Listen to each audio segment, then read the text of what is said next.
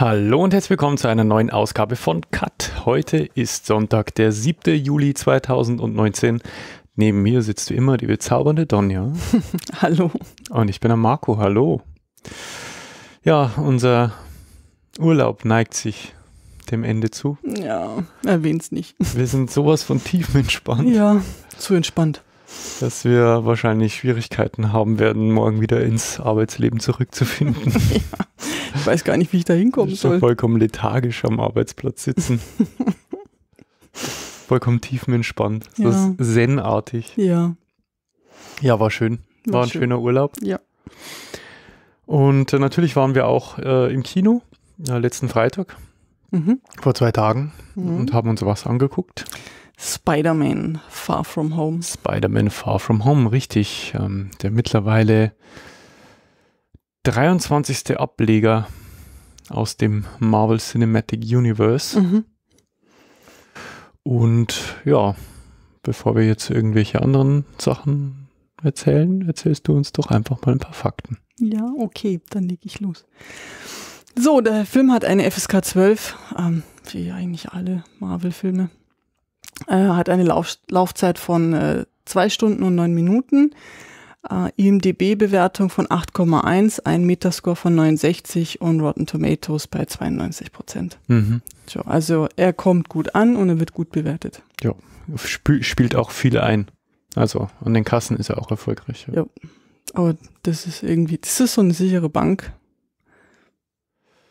Ja, war ich, war ich mir jetzt gar nicht so äh, sicher. Wieso? Also ja, können wir ja dann, können okay. wir ja dann im, im Na gut mit unseren Erwartungen. Wenn es um unsere Erwartungen geht, können wir ja nochmal drüber reden. Okay, jetzt bin ich mal gespannt. So, äh, Regie führt äh, John Watts.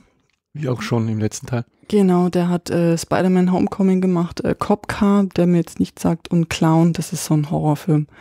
Also ähm, ein noch nicht ganz so, so, ja, schon erfahren, aber nicht super erfahren und ähm, ja, naja, Drehbuch, äh, wie beim letzten Film auch Chris McKenna und der Eric Summers, die auch schon in Homecoming, Ant-Man and the Wasp, Jumanji gemacht haben. Äh, Vorlage gibt äh, Stan Lee und Steve Ditko. Kamera Matthew J. Loud, der den Thor Ragnarok, Captain Marvel, Power Rangers gemacht hat. Filmmusik wie immer der großartige Michael Michael Giacchino. Giacchino, ja. Ah, das habe ich sogar richtig ausgesprochen. Mhm. Ja, den, der ist, ist einer unserer Lieblingskomponisten. Ähm, ja, genau, weil der hat äh, Star Trek, das ist einer unserer Lieblingsfilme, auch großartig in Planet der Affen. Mhm. Dann Alles steht Kopf, Ratatouille. Also er hat ähm, wirklich den, auch schöne den, Musik ähm, gemacht. Sag's. Was denn? Hat er nicht Coco auch gemacht? Äh, ja, aber das ist bei IMDB immer so wieder so verwirrend, weil ähm, hat das jetzt alle nur er oder ist das dann nur ein Song oder das konnte ich jetzt nicht so genau mhm. auslesen. Auf jeden Fall ist das ein, ein, ein, grandioser. Der hat auch, der hat auch die letzten äh, Star Wars ähm, gemacht, also den, den äh, äh, Rogue One mhm. zum Beispiel und den ähm, ich bei Episode 7, glaube ich, war wieder der, ähm, der Williams. Kann es sein? Episode 7 und 8 hat dann das doch wieder der John Williams gemacht. Auf jeden Fall unterbrichst du mich jetzt schon wieder. Entschuldigung. Sonst komme ich, ich habe so viel aufgeschrieben, komme ja gar nicht durch hier. So, Besetzung, und zwar ist es ähm, Peter Parker Spider-Man, wird gespielt von Tom Holland, der auch schon Spider-Man Homecoming und natürlich auch in den allen anderen Avengers-Filmen dann mitgespielt hat. Und ähm, seit, Entschuldige, dass ich wieder unterbreche, ja. aber seit es Marvel und Sony geschafft haben, sich zu einigen. Genau. Weil das Franchise, ähm, also Spider-Man ja quasi bei Sony liegt. Ja. Und äh, Im Herzen der See hat er auch noch mitgespielt, auch noch einer der größeren Filme. Dann auch hier wieder Nick Fury mit, mit am Start, Samuel Jackson. Ja, der hat ähm, jetzt, ich glaube, das halbe Filmuniversum von Quentin Tarantino hat er mitgespielt, Pulp Fiction, Jackie Brown, dann in Chef äh, die Neuauflage, Glass, Unbreakable, Kong, Skull Island. Ja, und dann, den wir den nicht kennen. Dann habe ich dann irgendwann mal aufgehört aufzuschreiben. So, dann äh, der Quentin Beck, aka Mysterio. Sieht man ja auch schon im, Tra äh, im Trailer ein bisschen. Das ist der Jake Gyllenhaal. Und äh, der hat bei Nightcrawler mitgespielt, Brokeback, Brokeback Mountain. Donnie Darko war sein Durchbruch. Mhm. Prisoners, Stronger. Genau, auch hier ein großartiger Schauspieler. Fantastisch. May Parker wird gespielt von Marisa Tomei. Die ihren zweiten Frühling erlebt irgendwie, habe ich so das Gefühl. Ja, nee, also hab ich, schauspielerisch. nee, finde ich jetzt nicht. Nein. Die ist halt immer noch knackig, also für ihr Alter und deswegen. Ja, aber das war doch damals so. Ja, aber die hat ja nie richtig, ich finde, die hat nie richtig ihren Durchbruch gehabt. Also die ist immer so eine, die ist immer eine Nebendarstellerin geblieben. Finde ich jetzt. Ja, Also- ich kenne sie halt aus der Wutprobe. Die Wutprobe. ugh, Ich mag die Wutprobe. Ich nicht. Adam Sandler. Ja, der einzige Adam Sandler-Film, den ich mag, aber den Nein. mag ich nur wegen Jack Nicholson. Nee, der einzige Adam Sandler-Film, den ich mag, ist äh, wie, wie mit dem Footballspielen. Punch Drunk Love? Nee, Nein. Das, ich weiß nicht. Nee, ich, es gibt keine guten. Irgendwas mit Regeln. Da, wo er im Gefängnis Football spielt. Keine Ahnung, habe ich nicht Das, gesehen. das ist wirklich der einzig gute Film, finde ich. Also, weil der ist halt auch ein Sportfilm. Sportfilme machen da schon mal mehr Spaß. Ja, auf jeden Fall ist sie bekannt geworden mit äh, Mein Vetter Winnie, hat sie dann, ich glaube, auch sogar einen Oscar bekommen. The Wrestler hat sie mitgespielt in The Bedroom, The Big Short. Ja, sie hat schon auch bei, ach, ich weiß nicht, ich, aber jetzt keine herausragenden Rollen. Nein. Stimmt. naja. Aber dass sie überhaupt jetzt wieder so präsent ist. Ich hatte mal so eine Zeit lang das Gefühl, dass sie eigentlich gar nicht aufgetaucht ist irgendwo. Ja. Wie dem auch sei. Fahren Sie fort. Danke. Happy Hogan ist der John Favreau. Äh, Regisseur, Produzent, Schauspieler, also er ist im Prinzip alles in einem. Genau. Äh, Kiste Cook hat er mitgespielt und auch selber Regie geführt. Ähm, Iron Man 1 bis 3 hat er Regie geführt, produziert. Nee. Doch. nee. Nicht alle drei, aber beim ersten hat er Produziert schon, aber Shane Black hat doch den dritten gemacht. Oder? Ja, aber den ersten hat er ja schon gemacht. Mhm. Genau. Und äh, hat, also Happy Hogan ist quasi der ähm, Chauffeur von und Sicherheitsbeauftragter äh, Beauftragter und was weiß ich was. Also das Mädchen für alles für äh, Iron Man, für Tony Stark. Und in The Wolf of Wall Street hat er auch mitgemacht, aber da habe ich ihn irgendwie jetzt gerade nicht vor Augen. Egal. So, dann die MJ wird gespielt von Zendaya. Es ist immer mysteriös, wenn jemand nur einen Namen hat. Ja, naja. Manche Leute kommen wirklich mit einem Namen auf die Welt. ja, ähm, das Mädel kommt aus der Disney-Schmiede. Disney Channel, Ja, da hat sie ihren, ihre Shows, ja. ihre Shows äh, gehabt als irgendwie Backstage-Tänzerin, hat sie irgendwie angefangen. Und äh, ihren Durchbruch hatte sie natürlich mit Spider-Man Homecoming. Daraufhin hat sie auch in The Greatest Showman mitgemacht. Und so weiter und so Und da fort. ging es dann steil bergauf. Ja, die, Ist, die ist bei uns, äh, ich habe so ein bisschen gelesen über sie, weil ich Mhm. dachte, ich kenne die Frau nicht. Und, Mhm. Äh, die ist, also die hat ja zwei Shows, also die zweite hat sie geschrieben und produziert sogar äh, bei Disney Channel Mhm. und die Hauptrolle. Und die, also was man ihr wohl nachsagt, wie gesagt, ohne die Frau zu kennen, ist, dass sie halt wirklich ein, ein, ein, ein gutes Vorbild für die Jugend ist, weil sie halt jetzt nicht so, ja, habe ich auch ähm, gelesen. Ja, Fand sie ich jetzt dann nicht auch so gut. überkandidelt abgehoben ist. nein, gar nicht. Also sie will halt, also sie hat auch ein Buch geschrieben. Ähm, sie will halt wirklich auch ein, ein gutes Vorbild sein für die ganzen, ich glaube vor allem auch jungen Frauen da draußen. Ja, Finde ich schon mal positiv. steht die da äh, zumindest in Hollywood zurzeit sehr hoch im Kurs, habe ich das Hm. Gefühl. Hm. Auch wenn sie bei uns jetzt eher unbekannt ist. Also mir zumindest. Wahrscheinlich, wenn ich meine Tochter fragen würde, Meinst du? die wird sie wahrscheinlich kennen. Ja, aber dann wahrscheinlich eher die größere, oder? Nee, die kleine Disney Channel. Ja. Die gucken doch sowas immer. Okay, na gut. So, und als letztes habe ich noch den äh, Ned Leeds, der ähm, Kumpel vom Spider-Man Peter Parker. Ach, der. Genau, das ist der Jacob, Jacob Batalon. Auch hier schon bei Spider-Man Homecoming dabei und ähm, Everyday. Also der etwas dickliche asiatische Ja, genau. Kumpel vom Ja, sein, ja, Nerd-Kumpel. genau, sein Nerdkumpel. Mhm. Ja, und dann habe ich dann, äh, weil es natürlich ein, ein Riesencast ist, auch die ganze Schulklasse, die zwei Lehrer, aber die habe ich jetzt nicht mehr alle mit aufgeschrieben. Hattest Genau. recht. Ja, alles in allem quasi, the, the, the gang is back. Ja, ja. Komplett wieder vereint. Dann würde ich sagen, ähm, lese ich mal den Pressetext vor. Mhm. Ähm, Peter Parker ist wieder da. Tada! In Spider-Man Far From Home, dem nächsten Kapitel der Spider-Man Homecoming-Reihe, entschließt sich der freundliche Superheld aus der Nachbarschaft mit seinen besten Freunden Ned, MJ und dem Rest der Clique Urlaub in Europa zu machen. Was ist das denn? Das stimmt doch gar nicht. Doch seinen Plan, die Superheldenkräfte für ein paar Wochen hinter, hinter sich zu lassen, muss Peter schnell aufgeben. Nick Fury bittet ihn, das Geheimnis um zahlreiche schwere Angriffe aufzudecken, die Zerstörung über den ganzen Kontinent bringen. Das ist totaler Bullshit. Also, das ist der schlechteste Pressetext ever. Denn da stimmt halt gar nichts. Also weder gibt es eine Spider-Man Homecoming-Reihe, Nein. noch oder macht Spider-Man. wissen wir es ja nicht. Nein.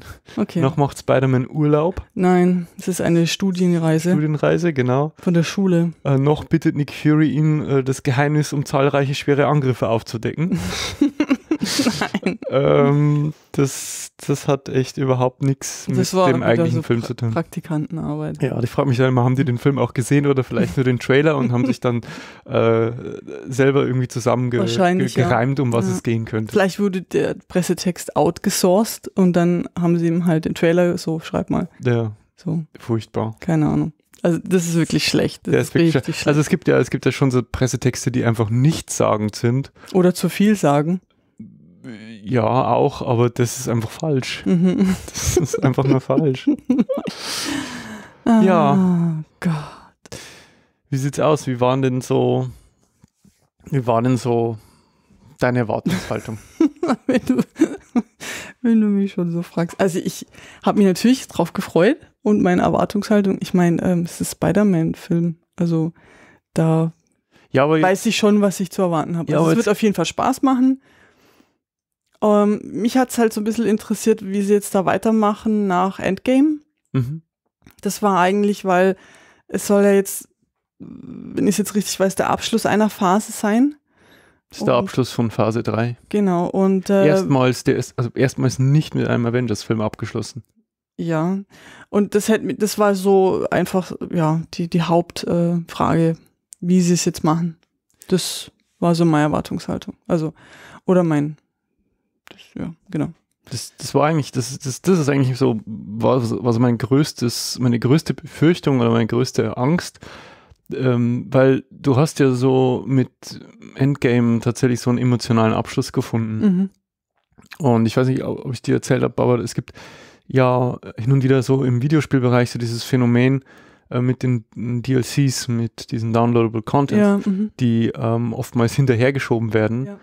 Und ich hatte da eben schon so die Erfahrung gemacht, dass äh, ein Spiel quasi eine Geschichte zu Ende erzählt hat und dann eben DLCs nachgereicht wurden, die halt dann äh, zwischen, also zwischendurch wieder stattgefunden haben, Mhm. also Geschichten vor der Geschichte erzählt haben, Ja, ja. ähm, die sich halt irgendwie falsch angefühlt haben, weil du halt wusstest, äh, wie das Ende äh, Mhm. der Geschichte ist.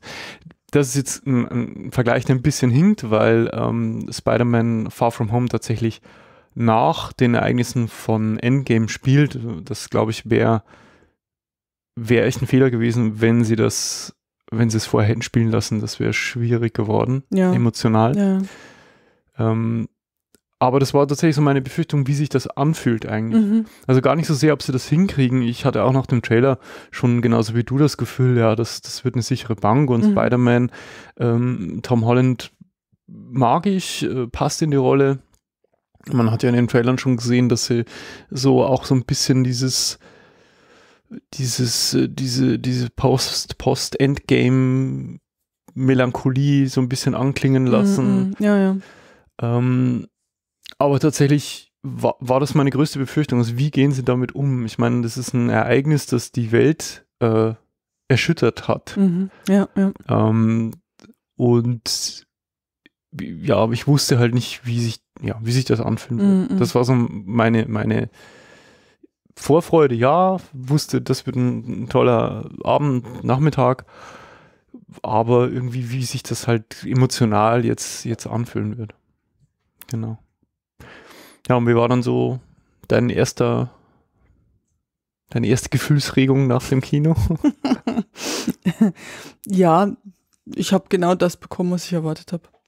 Also es hat Spaß gemacht und ähm,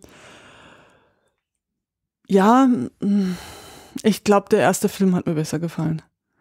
Also Homecoming. Also der hat nochmal einen Ticken mehr Spaß gemacht und ähm, da ist es jetzt halt einfach so, jeder, jeder Superheldenfilm steht und fällt ja mit dem Bösewicht.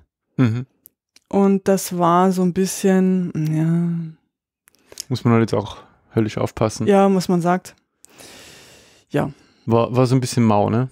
Ja, so ein bisschen und vor allem halt, ähm, er halt, also es gibt halt Marvel-Filme, er gehört halt einfach zu diesem Universum, die, die hallen halt so ein bisschen nach. Also, und da ist außer, ja, da verrate ich jetzt nicht so viel, aber das ist der Endkampf, bleibt da einfach nicht viel. Also da haben sie wirklich nochmal alles reingesteckt, was, was nur geht. Also das ist der Wahnsinn, also es ist wirklich der Wahnsinn.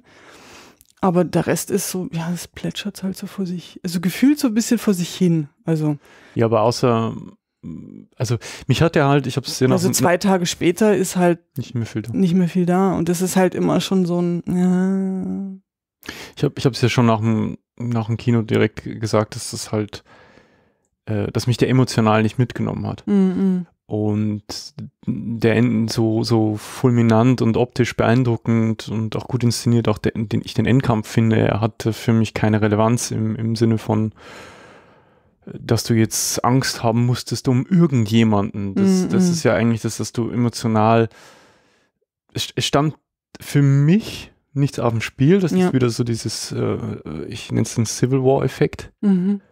Dass ich auch bei Civil War, dass der an mir vorbeiging, weil ich nicht das Gefühl hatte, dass da was auf dem Spiel steht. Ja, ja. Und so, das Gefühl hatte ich jetzt auch. Mm, mm. Und äh, sie haben sich ja, sie versuchen sich ja ähm, so ein bisschen auf den Jugendlichen im, in Peter Parker quasi zu konzentrieren. Mhm. Und ich meine, so diese, diese Story, diese Grundprämisse, diese Studienfahrt und er will halt MJ so ein bisschen näher kommen. Ja, ja. Und äh, es, es wird schon sehr deutlich nach außen gekehrt, dass, dass er eigentlich, Er will, naja, er ist noch zu jung. er gar nicht Genau, er ist noch zu sein. jung für, für diese Verantwortung, Ja, die. Die, die ihm jetzt da aufgebürdet wird. Er hatte auch so ein bisschen das Gefühl, oder zumindest wird es ihm und dem Zuschauer vermittelt, er müsse jetzt in die Fußstapfen von Tony Stark treten, Mhm. was ihm halt einfach äh, unglaublich schwer fällt. Er will halt einfach nur Teenager sein. Wobei das auch wieder, äh, finde ich, ein bisschen, das hätten sie ein bisschen anders machen sollen, weil es, es gibt ja noch genug andere Superhelden. Es ist ja nicht so, dass, äh, dass er jetzt der Einzige ist, wo übrig geblieben ist. Ja, aber die Beziehung zwischen ihm und Tony war schon eine besondere. Ja, aber das wissen ja, das weiß, wusste ja die Welt jetzt nicht. Das Ja. war ja was, äh, was jetzt nur der engste Kreis gewusst hat. Also da hast du jetzt keine Pressekonferenz Konferenz gehabt. Äh, oder ich weiß nicht, also das ist jetzt mein Eindruck. Also ich finde, dass diese, dass die Welt jetzt denkt, er ist jetzt der Nachfolger von Iron Man, das ist schon sehr, finde ich, sehr weit hergeholt. Also weil es gibt äh, in den ganzen Filmen. Denkt das die Welt? Wo kommt denn das zur? oder denkt er das? Ich weiß nicht, ich meine. Also er, er, äh, er fühlt sich so, glaube ich. Ja, ich weiß nicht. Also ja auch äh, der, der Hinterlassenschaft von ihm, ähm, ohne da jetzt äh, spoilern zu wollen, Mhm. das erweckt schon den Eindruck, ähm, als Ja. müsse er jetzt da in, in, in die Nachfolge antreten. Und er ist nicht bereit dafür. Nee, ist er ja. Also er ist auch, äh, er gesteht sich das ja auch selber ein und er will das auch gar nicht. Er will eigentlich nur diese Klassenfahrt, diese Studienfahrt genießen und, und seiner Angebeteten näher kommen. Das ist eigentlich sein Ziel und das wird, er wird ja ständig abgelenkt und halt von Nick Fury zwangsrekrutiert. Ähm, aber nicht, dass wir jetzt zu viel nee, verraten. nee, das, das sieht Okay. man ja im Trailer schon. Ach so, ich habe den Trailer gar nicht mehr so vor Augen. Ja. Im Trailer sieht man ja auch schon Jake Gyllenhaal und da kommt etwas zur, zur Sprache, das ähm, Kumpel von uns, der Mario, äh, schon, schon angesprochen eigentlich so, so im Scherz, dass äh, er meinte irgendwie so, jetzt pass auf, jetzt, jetzt geht es um die, um, ums Multiversum Mhm. und äh, plötzlich halt äh, kommen halt Superhelden aus anderen Dimensionen, Mhm, aus mhm. Parallelerden sozusagen. Und das kommt ja auch im Trailer schon zur Sprache, Mhm. dass äh, der Mysterio aus einer Parallel, äh, aus einem Paralleluniversum oder aus einer Paralleldimension quasi stammt. Paralleluniversum, Mhm. Multiversum. Mhm. Das kam ja auch schon in, in Spider-Man äh, Into the Spider-Verse, ja, äh, äh, diese ja. Thematik. Mhm. Ähm, ist habe ja, ich auch gleich ge- dran gedacht. Ja. ja. und naja, wenn sie diese Tür aufstoßen mit dem Multiversum, können wir uns ja im Spoilerteil nochmal drüber unterhalten, Mhm. ähm, dann äh, ist das natürlich schon irgendwie so eine Carte Blanche. Da können sie ja im Prinzip machen, was sie wollen. Ja, ja. Und äh, als ich das dann im Trailer gehört habe, äh, dachte ich mir so, mh, äh, ob, ob, also das ist so, so ein Ass aus dem Ärmel schütteln, irgendwie Mhm, so ganz mhm. billig. Mhm. Äh, klar mag das Kanon sein, irgendwie mit, mit den Comics einhergehen, dieses Multiversum, aber ich finde es so ein bisschen billig, Ja, dass man halt so, finde find ich jetzt nicht, aber. ach, jetzt aber, ist auf der Erde nicht genügend Superhelden, dann machen wir halt Multiversum, da gibt es noch andere. Naja, ich meine, ähm, das ist halt, ich habe, wie gesagt, eigentlich gehofft, dass jetzt so ein bisschen neben der Spider-Man-Geschichte so ein bisschen äh, das weiter äh, erzählt wird, was jetzt mit Endgame oder was nach Endgame ist. Aber das war jetzt so am Rande der Geschichte, dass du, also ich weiß Es jetzt wird- nicht mehr. Es wird sehr schnell abgefrühstückt. Ja, und auch das Ende ist, boah, also, und auch, ja, das Ende, also es gibt zwei, also nur mal kurz, falls ihr ihn noch nicht gesehen habt, bleibt komplett bis zum Schluss sitzen. gibt zwei es gibt zwei Post-Credit-Szenen. Und ähm, ja, aber also ich weiß jetzt nicht mehr. Und irgendwie ja, käst mich das so ein bisschen an. Weil äh, ich mich hätte jetzt schon interessiert, wie jetzt die Reise weitergeht. Und vor allem halt auch mit den Avengers. Ja, das ist, das ist genau das, was, was, also das, was du ansprichst, das äh, spiegelt auch so ein bisschen mein, mein Gefühl wieder, dass, dass man jetzt, ja, es ist irgendwie so ein,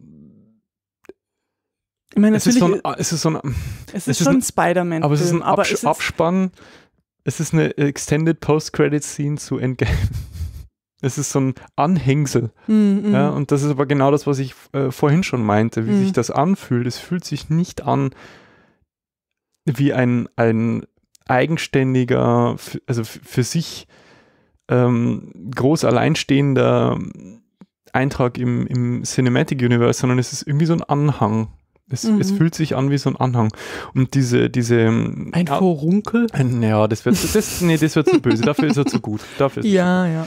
aber die, ähm, ich finde auch, dass die Ereignisse, diese wirklich welterschütternden Ereignisse äh, aus Endgame mit diesem Blip, wie sie ihn jetzt bezeichnen, also die Mhm. Leute, die einfach mal ein paar Jahre weg äh, und dann wieder da sind, äh, dass das halt relativ schnell abgefrühstückt wird. Mhm.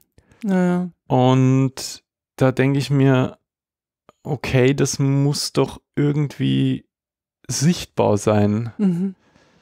Ja, weil Also du ich- hast ich nicht fand das das- Gefühl gehabt, dass das auf der Welt sichtbar Genau, war. also ich fand zum Beispiel, ähm, dass man halt in Endgame, also bevor die Leute äh, wieder zurückkamen, Mhm. ähm, deutlich gesehen hat, was das für Auswirkungen hat, dass die alle verschwunden sind.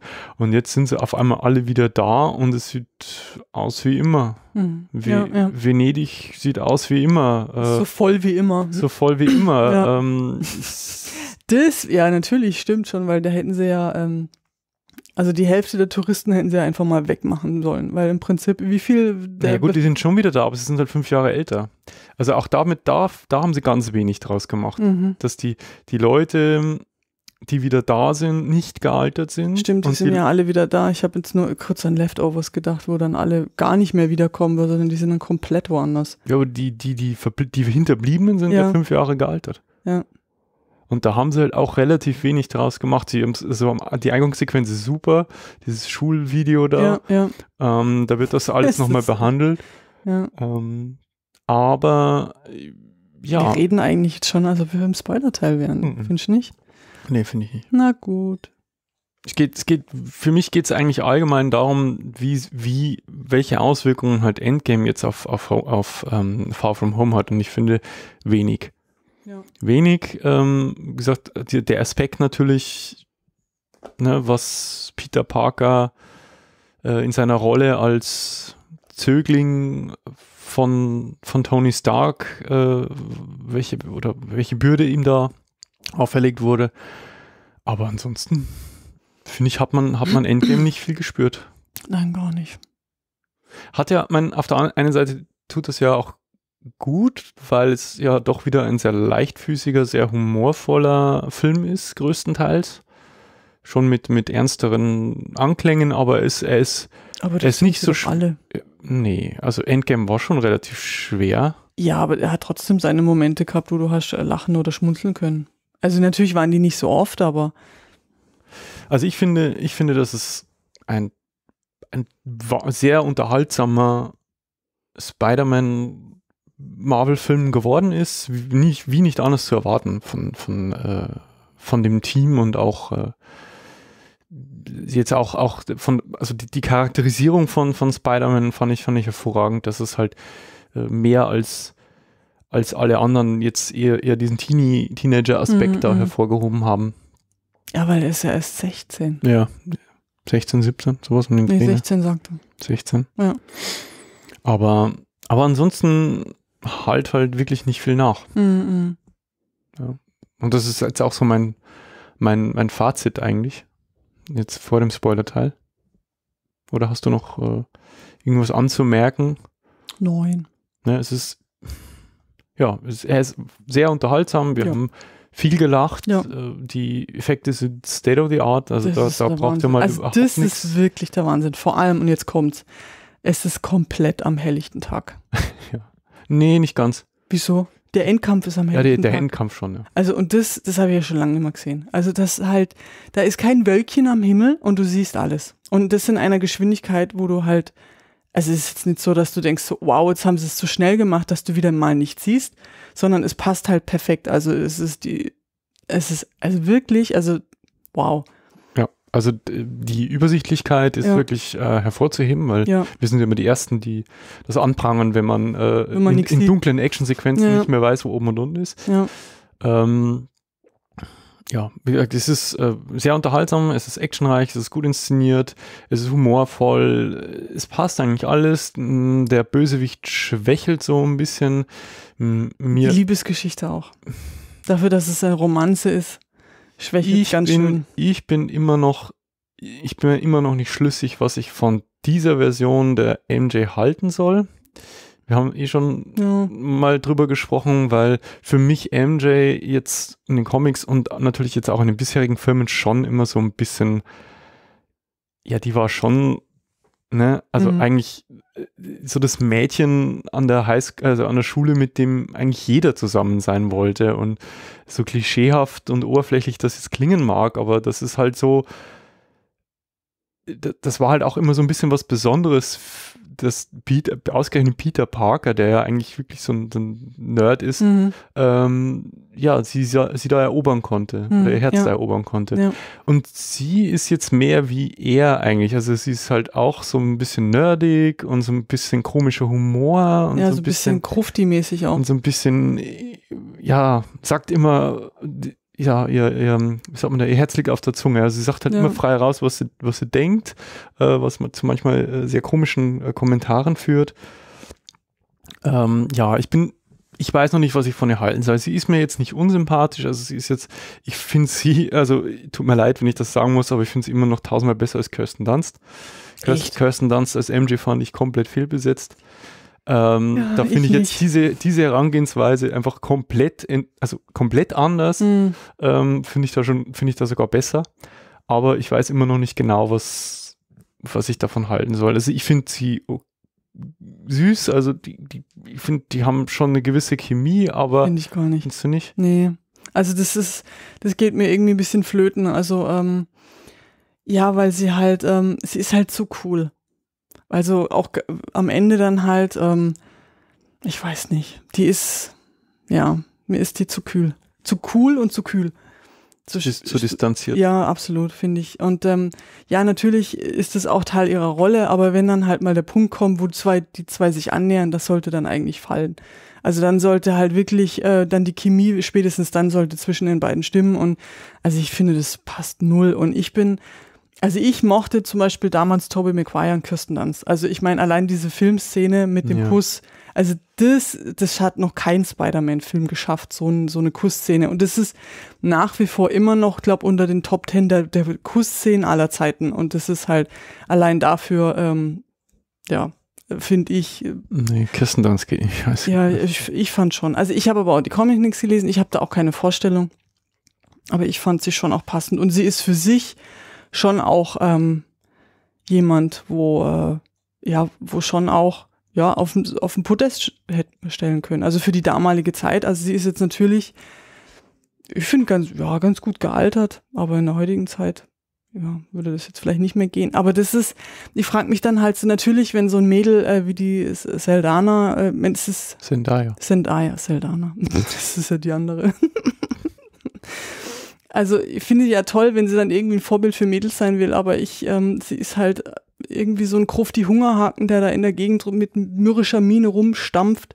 Und dann weiß ich nicht, ob das jetzt genau das richtige Vorbild für Mädels sein sollte in so einem Film weil sie halt, äh, wenn, wenn Peter Parker weiß ist, ist sie halt schwarz. Natürlich dann Gegensätze, aber äh, null, ich finde. Ja. Ich weiß, es funktioniert ja, überhaupt nicht. Ich habe ich hab da auch so, so meine Schwierigkeiten. Für mich war, also von der Chemie her, äh, war eigentlich äh, Emma Stone und Andrew Garfield äh, für mich perfekt. Also Ja. ich fand die, die beiden, ich meine gut, die waren ja auch, waren oder sind ja auch privat ein paar, waren. Hm, weiß nicht, glaube nicht, oder? Sie waren auf alle Ja, Fälle eins. ja. Ob sie noch sind, weiß ich nicht. Und ich finde, die Chemie zwischen den beiden war perfekt auf der Leinwand. Ähm, man kann jetzt von ihm als Peter Parker halten, was man will. Man kann von ihr in ihre Rolle halten, was man will. Aber die Chemie war perfekt. aber sie war doch auch nicht die MJ, sie Nee. war doch die. Nee, nee. wie heißt die MJ. Nee, mir geht's ja nur um die, Ja, ja, schon klar. um die, um die Chemie. aber wie heißt sie? Gwen Stacy. Gwen Stacy, ja, genau. Aber es ist, äh, ja, mir, mir hat's, mir hat's äh, jetzt hier im, im Spider-Man Far From Home einfach an, an emotionalem Gewicht gemangelt. Also ich fand, das ist halt, das es stand nie irgendwie großartig was au- auf dem Spiel. Also ich hatte jetzt Mhm. keine Angst um, um seine Freunde oder halt jetzt auch um, um MJ. Ich hatte keine Angst um ihn. Ähm, Bösewicht war ziemlich blass, fand ich, und, und wirkte so ein bisschen, ne, Mhm. das- Ähm, ja, aber immer noch, und ich, wir, wir wiederholen uns jetzt an der Stelle, ähm, immer noch ein sehr, sehr unterhaltsamer Eintrag im, im, Cinematic, im Cinematic Universe, äh, de- dem ihr als Fans natürlich sowieso und äh, wenn ihr auf Unterhaltung aus seid, auch natürlich jederzeit eine Chance geben könnt. Das ist jetzt eine, ein, ein Meckern auf sehr hohem Niveau, würde ich sagen. Und es ist nicht der erste Film im, m, jetzt von den 23, die so ausfallen. Also es gibt schon so, so Fastfood-Marvel-Filme, einfach die guckt man sich an, die hinterlassen jetzt keine großartigen äh, eine, der, der zweite, ähm, der zweite Ant-Man and the Wasp war Mhm. auch so ein Ding, wo ich sage, der war echt nett, Mhm. äh, hat Spaß gemacht, äh, hat niemandem wehgetan, aber hat jetzt keine großartigen, großartigen Eindruck hinterlassen. Aber mehr als der jetzt. Finde ich jetzt Mhm. schon. Also auch nach der zweiten Sichtung. Die geben sich nicht viel. Na, jetzt- Also Aber so- ist das jetzt einer, wo du zum Beispiel auch sagen kannst, ja, okay, um da jetzt in der Story durchzusteigen, kann man sich den ja auch weglassen, oder? Also das ist halt einer, der, der jetzt das Cinematic Universe im per se einfach kein Deut voranbringt. Na, null. Und das ist das, was mich so, ja, so ein bisschen annervt. Ja, aber da gibt's ja mehrere. Ja, aber nach Endgame, äh, da musst du doch, da müssen sie den Zuschauern ja schon irgendwas geben, wo du weißt, in welche Richtung geht's denn jetzt. Und das gerade mit diesen Multiversen, da können wir ja dann nochmal drüber reden. Ähm, Ja, ich, ich glaube, wir, wir gehen, kommen jetzt zum Spoiler-Teil. Ich muss jetzt was sagen.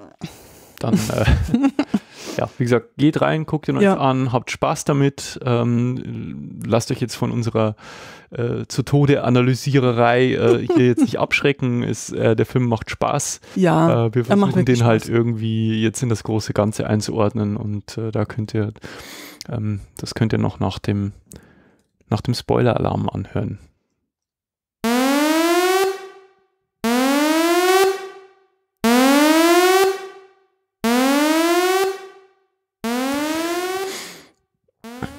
Ja, ja, was weil, wolltest du denn sagen? ja genau, weil wir jetzt gerade bei Multiversen waren. Im Prinzip erwähnen sie es ja, aber dann ist es, es wird Ist nur fake. erwähnt, aber dann ist es weg. Ist es fake? Und dann ist es fake, genau. Es gibt nämlich gar keins. Nein. Weil Das fand, das fand ich ja wieder clever. wieso? Das fand ich ja wieder clever. Weil ich habe dir ja schon gesagt, ich störe mich ja so, ich störte mich ja sowieso dran an diesem Gedanken äh, mit diesen Multiversen. Das war mir eh zuwider. Ja. Äh, und dass es dann halt alles fake ist, das fand ich ja cool. Das Mhm. fand ich cool. Ja, aber jetzt weiß man trotzdem nicht, wie es weitergeht. Nein, das, da stimme ich dir zu. Also das es, es, es bringt jetzt das Cinematic Universe in keinster Form weiter. Es ist halt insofern tatsächlich, deswegen sage ich, es ist, es ist eine, eine, ein, ein, ein Nachspann, ein, äh, eine Post-Credit-Scene zu Endgame, Hm, weil er an aber sich zwei Stunden lange. ja, genau, an sich jetzt nichts Neues mit, bringt, also jetzt keine großartigen Informationen. Ich habe auch schon ein bisschen was zu diesen Post-Credit-Scenes gelesen, das hat mich jetzt aber auch nicht ähm, großartig weitergebracht. Die erste Post-Credit-Scene deutet halt auf den nächsten Spider-Man hin, wie es Mhm. da wohl weitergehen könnte.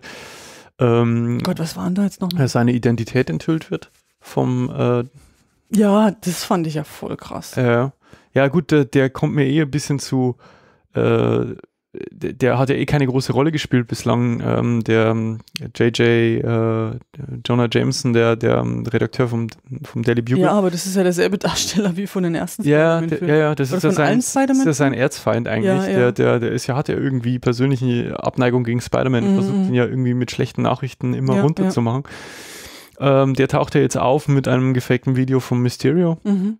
Ähm, das ihn quasi als Unglücksbringer hinstellt. Das finde ich, finde ich jetzt eine coole Ausgangssituation für den nächsten Teil. Mhm. Ähm, aber die Endsequenz mit den Skrull, äh, die ja als Formwandler auf der Erde unterwegs sind und jetzt hier mal in Vertretung von äh, Nick Fury. Nick Fury und Maria Hill ja, ähm, agiert haben, das fand ich so ein bisschen hä.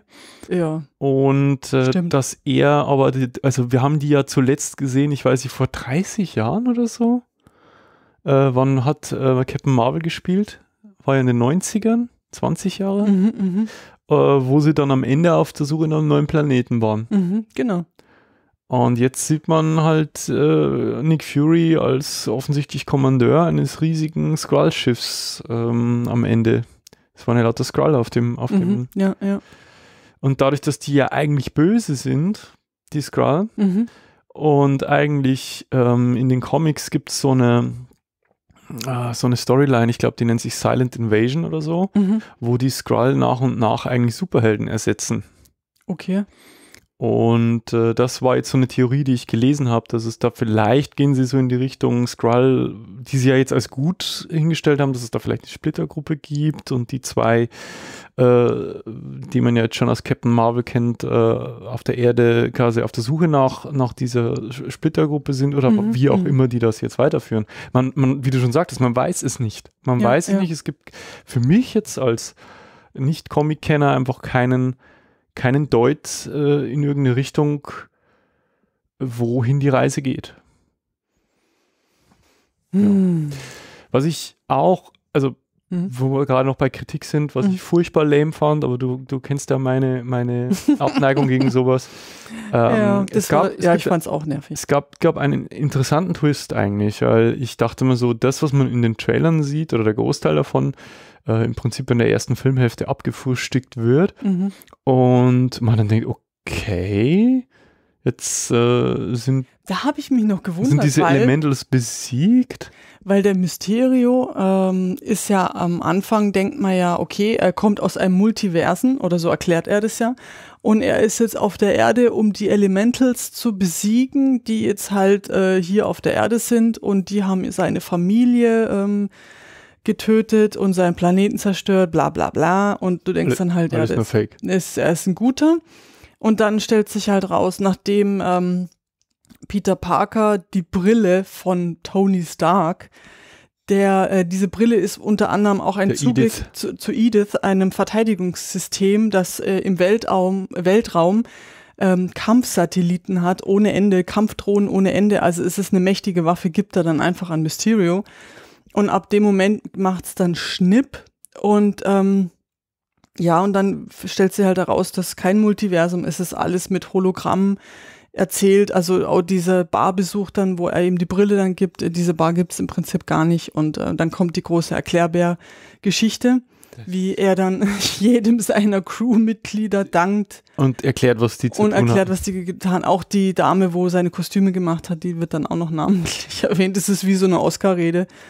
So, na ja, und ich danke, ich danke, ich danke. Und dann erklärt das halt noch dazu. Also Ja, nur wobei ich irgendwie wusste, dass der böse ist. Und du dann noch so neben mir, hä?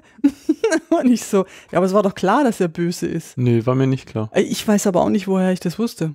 Ich dachte eigentlich, ich hielt ihn am Anfang für, also, aber das ist wieder dieses Skrull-Phänomen. Ich Ja. hielt ja die Skrull auch per se für böse. Mhm.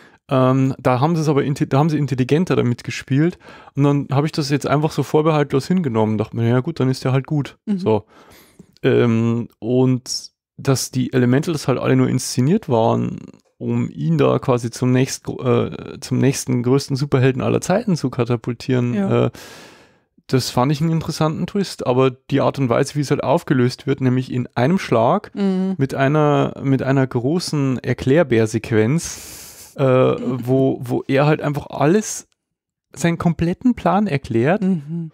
und dann halt wieder diese, diesen Schalter umlegt äh, von gut auf böse. Ja. Das, und aber auch nicht wirklich böse, wo du dann denkst so, ja, und dann äh, im Prinzip jeder, der ihm hilft, hat halt einmal irgendwie eine blöde äh, Erinnerung. Also quasi der eine, der ihm dabei den ähm, äh, Hologramm geholfen hat, das ist, äh, der wurde mal angeschrien von dem ähm, Partner von Tony Stark, der äh, Jebediah. mhm, ja, Und äh, dann der andere wurde mal, also jeder wurde irgendwie mal ge- gedemütigt. gedemütigt, gemobbt und dann hat sich quasi äh, ein, eine Vereinigung der Gemobbten zusammengetan, um dann ähm, äh, Ja, eh. ja, um diesen Plan dann auszuhacken und dann äh, quasi was die Weltherrschaft. Die, Mo die Motivation von, von, das war alles so lame, von hey. diesem äh, Beck äh, war ja, er hat so dieses holographische, also so ein hol holographisches System entwickelt, das Mhm. ja auch in einem, in einem Iron Man Teil, Ja. äh, ich glaube, war es der dritte, äh, gleich am Anfang, wo, wo man äh, Tony Stark quasi in so einer Art Rückblende sieht, wo er mit Mut- von seinen Mutter, Eltern Vater, verabschiedet. mhm. Ähm, und das mehr minder als Psychologie-Spielzeug abtut. Und das war so der demütigende Moment für ihn, äh, jetzt nach Tony Starks ähm, Verschwinden, äh, jetzt quasi dies, die Macht an sich zu reißen. Ja, also das System war jetzt nicht, ja, es ist, es ist Hanebüchen, aber äh, es ist ein Comic, eine Comic-Verfilmung, also wie diese Illusionen zustande kommen, dass äh, sich selbst tarnende Drohnen diese Illusionen projizieren und halt auch mit Schockwellen und Schüssen halt die Explosionen, also Mhm. physischen Auswirkungen, ist geschenkt. Ich habe das jetzt nicht großartig hinterfragt, das war okay. Ja, aber das, Aber das so haben sie schon gut, äh, schon gut gemacht. Ja. Also das, also Ja, glaube ich jetzt. Aber die Beweggründe ist das, was ich halt Aber die Motivation, Ja, die Motivation. Hinter, hinter dem Ganzen, die war schon wieder mal arg dünn und, ja sehr fragwürdig. und es war jetzt auch keinerlei, keinerlei Konflikt da. Also es ist ja oftmals so, dass die, also die besten, die besten Bösewichte sind eigentlich die, die man versteht. Mhm. Also wo man zum Teil nachvollziehen kann, warum der so ist, wie er ist. wo man einfach auch so eine Zerrissenheit spürt Ja. und halt merkt, okay, der versucht das Richtige aus den falschen Gründen zu tun Ja. oder das Falsche aus den richtigen Gründen, äh, wie auch immer. Ja. Ähm, das ist halt hier gar nicht. Das, das ist Nein, einfach das so, ist- so irrelevant, was der will und wieso er es tut. Der ist halt einfach nur machtgeil. Ja, aber auch so, so, wo sie dann halt so erzählen, was ihnen halt dann passiert ist, dann möchtest du am liebsten sagen, ja, buhu, geh doch mal in die Ecke und heul dich aus, weißt du, dann wird schon wieder alles gut. Also, Ja, vor allem, sie bauen ihn halt konsequent äh, in der ersten Filmhälfte so als Best Buddy, neuer bester Freund vom, vom Peter Parker auf, äh, bei dem man sich tatsächlich mal ausholen kann, über, über Superheldenkram reden kann, als Ersatzfigur für Tony Stark. Und ähm, ja, ich weiß nicht, das äh, und dann, wie, wie das, das stört mich so ein bisschen, dass sie Mhm. da einfach so den Schalter umgelegt haben. Und ich hätte mir das einfach wie vielen anderen Filmen auch, wo mich das stört, aber so ein bisschen subtiler gewünscht, ein bisschen schleichender, weißt du, dass ich Ja. so hin und wieder mal so einen Hinweis, so einen Blick oder eine Geste, ja, ja. die, die ich irgendwie stutzig werden hätten lassen, Mhm, so, mhm. Ha, hat er doch vielleicht was anderes. Ja, ja. Das gab's gar nicht. Nee, gab's Es gab einen nicht. großen Moment, Klick, Nee. äh, Licht an, Mhm. äh, tada, wir Ja, sind alle böse. Mhm. Ja, das hat mir so ein bisschen. mm. Aber wie gesagt, dann, was danach folgt, ist halt, da drehen sie halt das Tempo dann komplett hoch. Also im Gegensatz zur ruhigeren, sehr humorvollen ersten Hälfte, die dann tatsächlich mehr so diesen Klassenfahrtcharakter hat, Mhm. äh, kommt halt in der zweiten Hälfte dann äh, die, die Jagd mehr oder minder von Mysterio auf Spider-Man, beziehungsweise halt auch seinen, seinen Liebsten, seinen Freunden. Ähm, Die er dann beschützen will. ja, weil, weil er halt denkt, äh, die, dass die seine Pläne durchkreuzen können, weil sie halt einen Hinweis gefunden haben auf, auf sein Ah, ja, seine stimmt, bösen ja. Machenschaften, das ist ja der Grund. Ähm, da ist mir allerdings äh, noch viel besser in Erinnerung geblieben, diese ähm, ja fast schon albtraumhaften Sequenzen, wo er Peter Parker quasi äh, die Realitäten einfach um die Ohren haut. Mhm. Das fand ich viel cooler als in den Kampf. Also in, in, wo sie in Berlin waren, Ja, ja. Ja, ja. das war sau cool. Das war schon cool, ja. Also wo du halt auch als Zuschauer nicht mehr weißt, was real Was ist oben und und was unten nicht. ist. Mm, Was mir nachhaltig in Erinnerung geblieben ist aus dem Endkampf, ist halt die Tatsache, dass sie endlich, Mhm.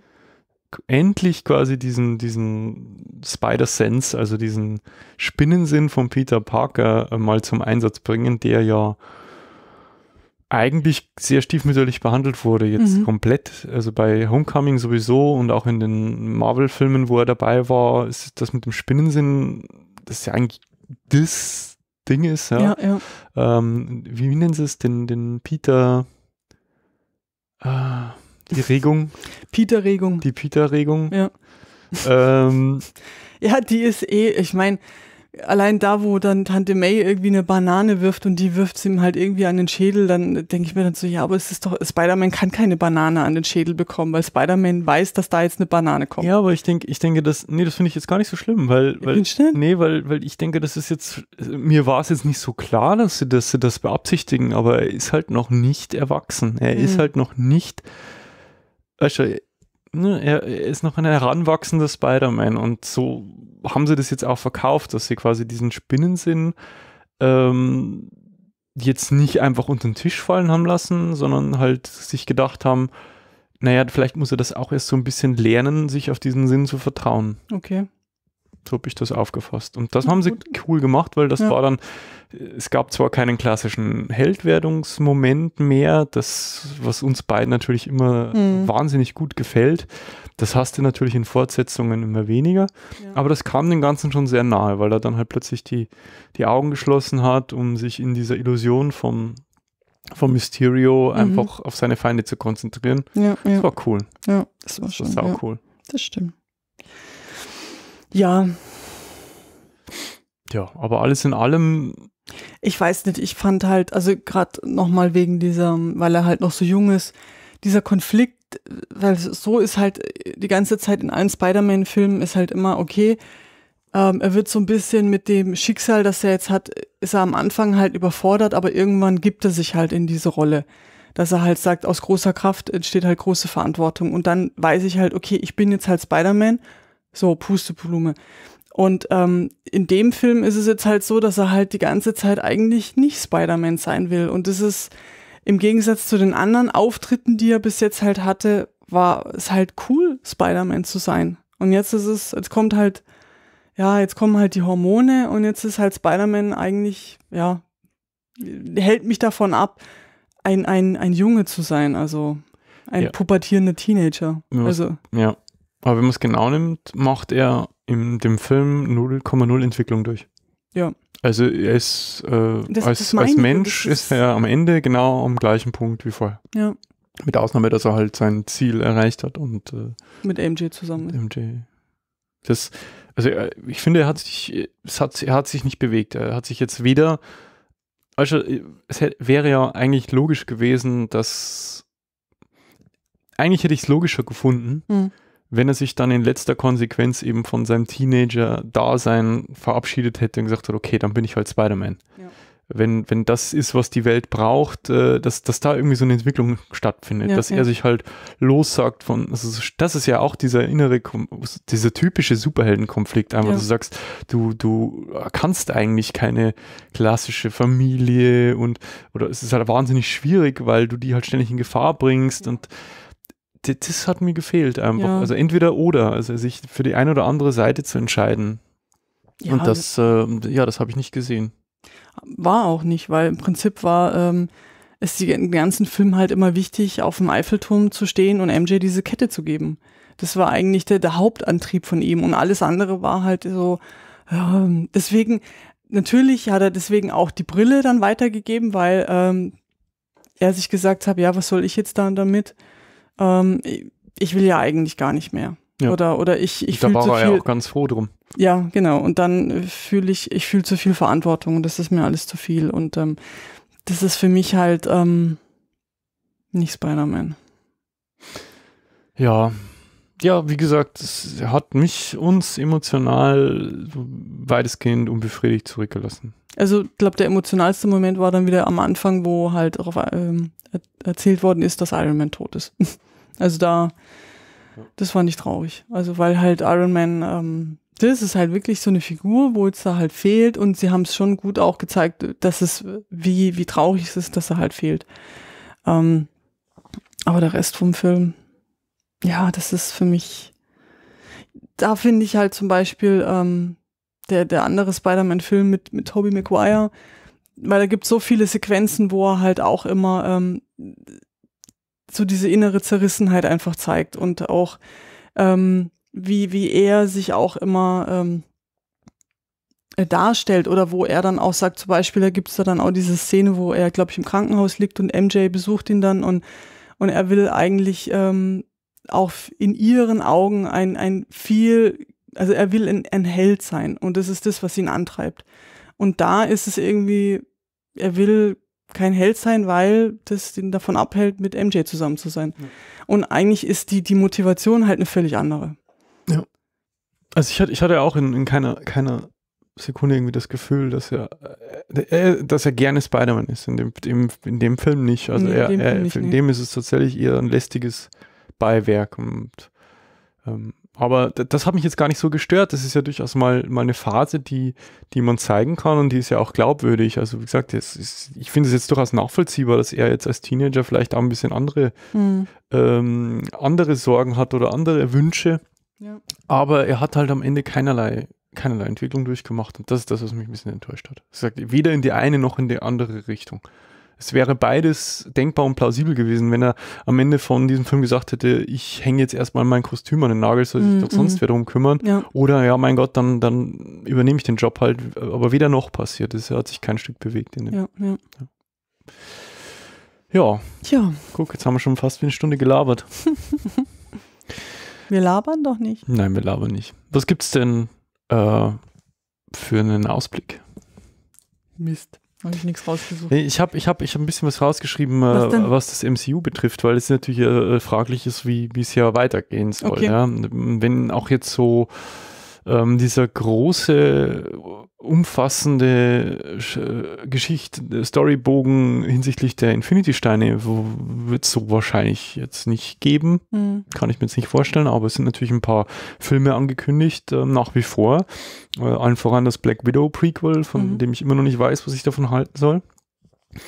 Es ist angekündigt natürlich die Black Panther Fortsetzung. Mhm äh, wieder von Ray Kugler. Also mhm. äh, dann ist natürlich angekündigt äh, Guardians of the Galaxy 3. Mhm. Jetzt doch äh, von, ähm, wie ist der Regisseur? Gunn. James Gunn, genau. Äh, natürlich angekündigt äh, Doctor Strange mhm. Fortsetzung und Captain Marvel. Aber ähm, ja, ich, ich, ich frage mich halt, also der, der Weg halt, man, man hatte ja jetzt immer so ähm, eine, einen großen, umspannenden Storybogen mhm. um diese Infinity-Steine ja. und jeder Film hat immer so ein Stückchen dazu beigetragen, ja, ja. Ein, einmal mehr und einmal weniger.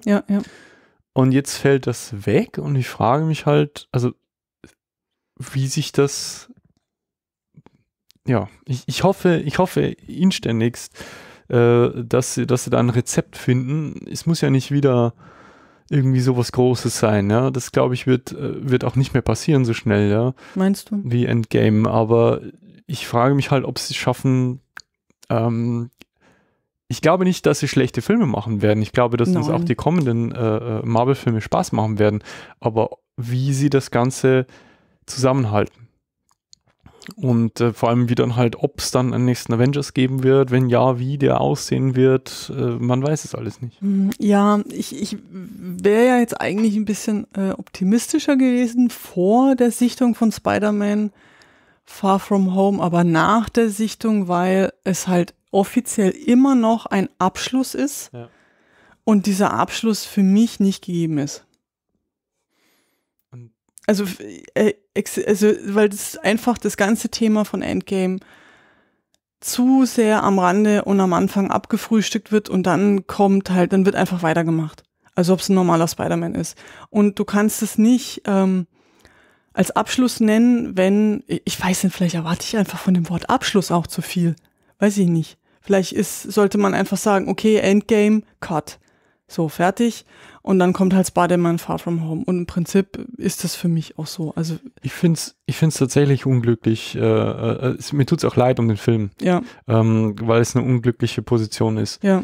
Ähm, Er hat jetzt entweder- echt den entweder- schwarzen Peter ja, einfach. Ich weiß nicht, wie, wie, ob sie sich da verzettelt. Ich, ich weiß es nicht, was Ja, da der ja. Plan war, aber äh, das wäre ein Film gewesen, der vorher, also Besser vor gepasst. Infinity War Ja. sogar äh, noch besser gepasst hätte. Oder wenn man was ganz anderes hätte gemacht als Auftakt der nächsten Phase.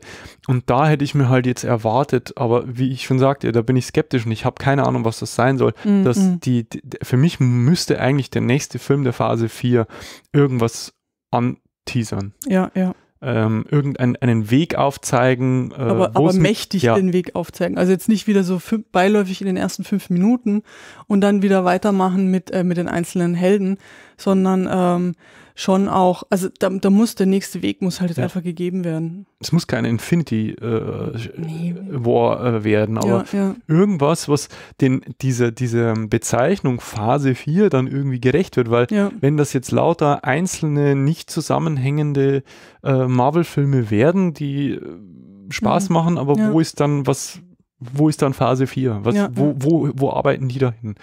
Und na, vielleicht machen sie das ja auch absichtlich, vielleicht hat Kevin Feige ja äh, einen, einen Plan, von dem wir nichts wissen, vielleicht äh, kommt er da bald mal um die Ecke, aber ich glaube, dass wir jetzt auf alle Fälle erstmal ein, zwei Jährchen warten werden bis zum nächsten Film. mm, mm. Ähm, also das habe ich schon gelesen, dass da irgendwie, äh, was weiß ich, 2021 oder so ähm, echt. erst weitergehen soll und da bin ich halt schon gespannt. Boah. Ja, wir sind jetzt schon verwöhnt, weil jetzt gab es ja im Prinzip jedes Jahr ein und mindestens zwei Filme. Ja, müssen wir uns eine andere Droge suchen. Mhm. So ist es. Naja.